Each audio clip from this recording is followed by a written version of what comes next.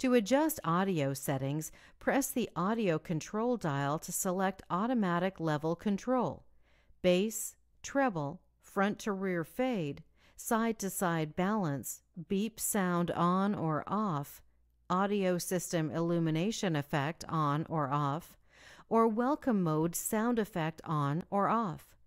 Then turn the audio control dial to adjust the selected setting.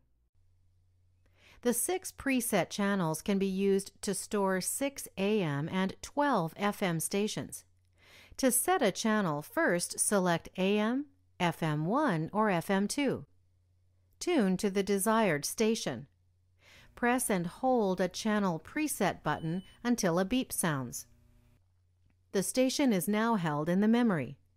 Repeat this operation for the other stations and bands you want to store.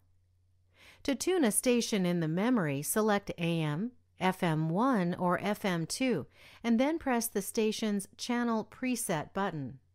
To automatically scan and temporarily store up to six stations with the strongest frequencies in each AM or FM band, press and hold the Auto Memory button until a beep sounds. To tune an auto stored station, press the Auto Memory button to recall one stored station at a time.